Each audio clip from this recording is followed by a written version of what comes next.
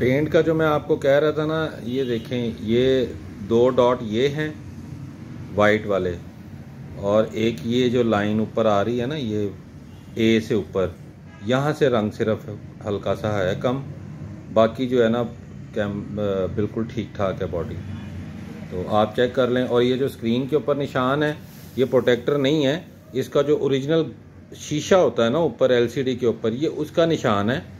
और जब मैंने इसको बेचा था ना, ये तब भी निशान ऐसे ही था।